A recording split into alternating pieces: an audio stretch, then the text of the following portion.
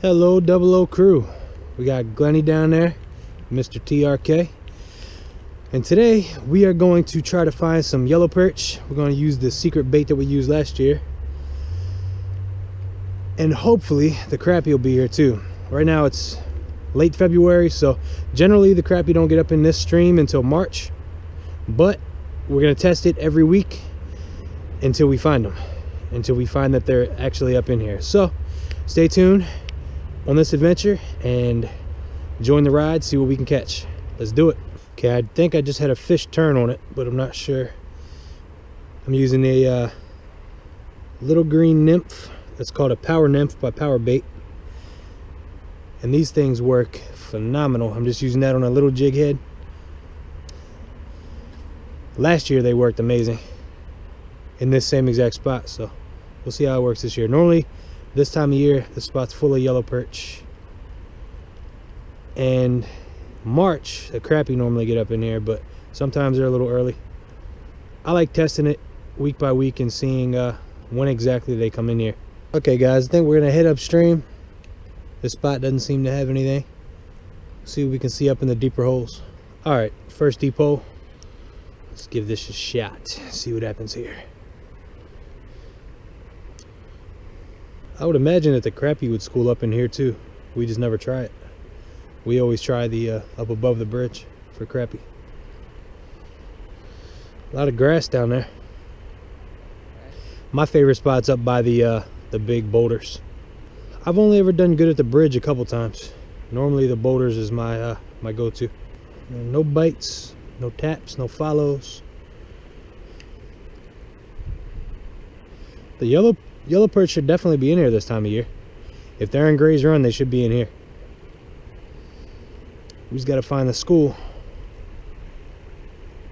And when you find the school, they're normally in it by the hundreds or even thousands. There's never any size to them, but there's a big shad run in here too in the spring. I'm gonna go up under the bridge.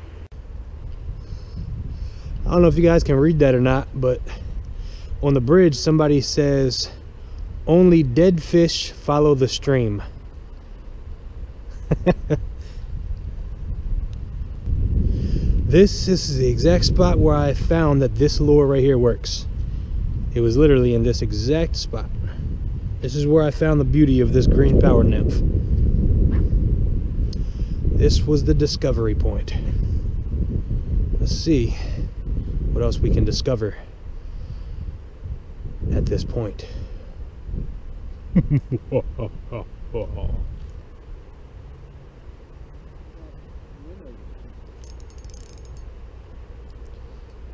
Son bitch. I thought I had a tap, but it wasn't. It was just a stick. Oh, squiggly line. Stick fish.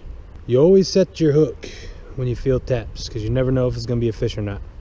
If it's a stick, oh well, but better to set your hook into a stick than choose to not set your hook and miss that fish that it potentially could be. Oh God, what kind of cast was that? Would you had one? I don't know what it was. You had a fish though? Yeah. Hey, look at little Gleno. All right, that's a good sign. It means they're hopefully in here.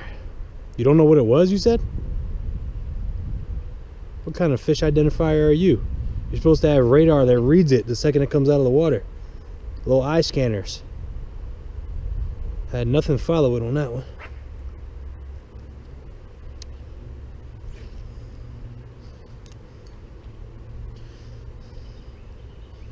Maybe I gotta slow it down a little bit.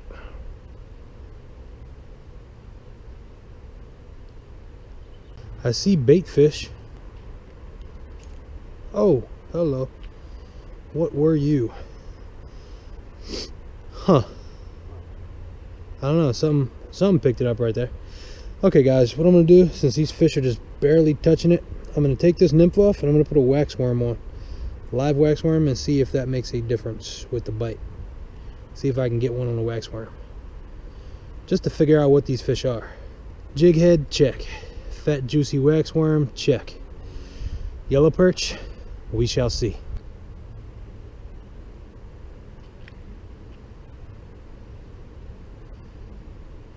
Well, something definitely hit it.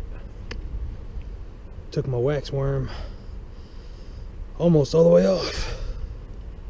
Huh. I think I'm going to decrease my hook size and redo that same thing and catch this fish. Patterning fish doesn't always come down to bass fishing. You can pattern microfish. I mean, in all reality, it just comes down to figuring out what you're doing wrong and making changes. So you have to question why those fish aren't committing or why they're missing your lure or whatever the situation may be.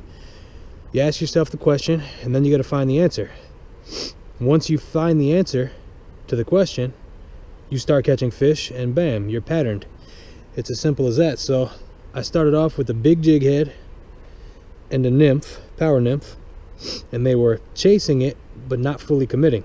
So I tried the wax worm instead of the power nymph, and again, they fully committed, but they were just taking the wax worm completely off. So logic tells me downsize my hook, and they'll most likely get the hook instead of just the wax worm.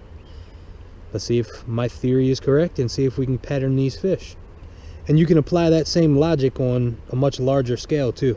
You can apply it all the way up to bass and lures, just strictly live bait. You can you can use that same little logical sequence right there for any type of fishing that you're doing really. It's very very simple to pattern fish. Takes some time.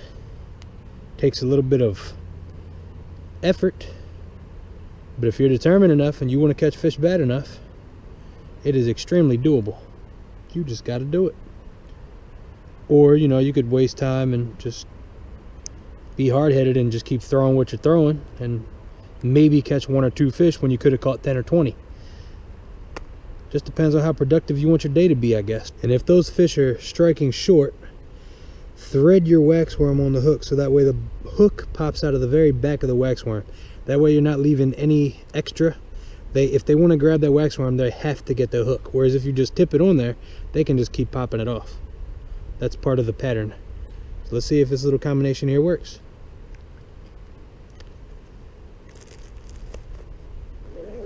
A good technique to try too is before that wax worm dies, when he's still wiggling around a little bit, just throw it in there, throw it in there and let it sit on the bottom. And a lot of times they'll come right over to it because he's wiggling around.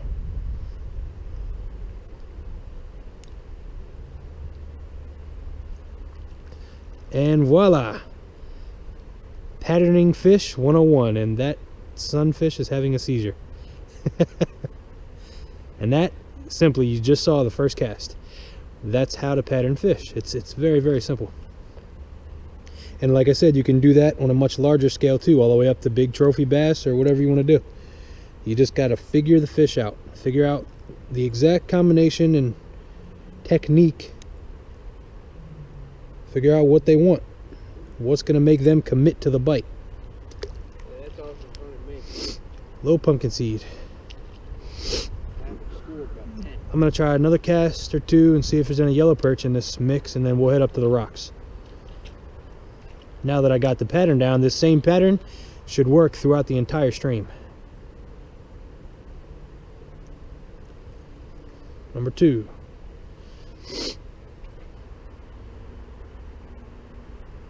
Prettier sunfish.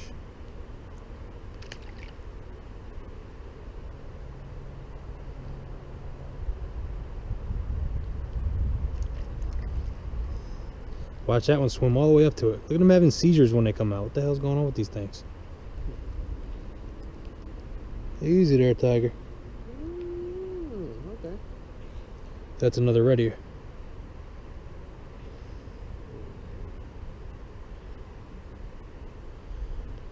Little guys. Alright. Let's go and see if there's any yellow perch up near the boulders. I'm gonna take a risk and go out on them boulders and see what I can see. One reason why I say take a risk because it's rainy, as you can see, and it's a little slippery. So, slow and steady does it. Now, normally the best spots in here are right in here, this hole, that big hole on the side of the run and then over there on that run and then right in here out, out from this boulder right here. That's generally the go-to spots. And then there's another spot over here which i'm to go to first. All right here's my first little hole.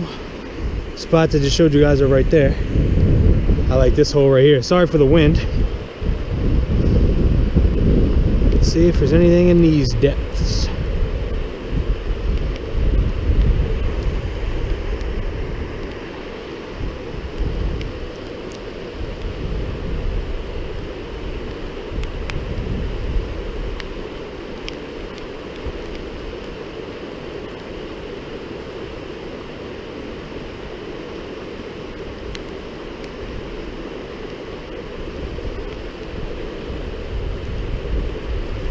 And our first fish of the day is a yellow perch. They're in here, guys.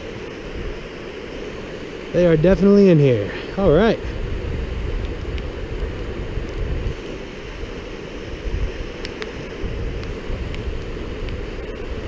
And that's on that same pattern. That same, I haven't switched. All we did was walk from down there underneath the bridge and come right here. Patterning fish can make the difference in the world. He's got a little uh, deformed tail there. All right. Well, guys, it's getting a little bit rainy here for this uh, GoPro, so I'm gonna put it away. But that was patterning fish with Obsession Outdoors. So don't forget to like, share, subscribe, comment. We love comments. So any questions about anything, always leave comments below. Me and Glenny here, me and Mr. TRK here, gonna get back to fishing. So until next time, we will see you on Obsession Outdoors.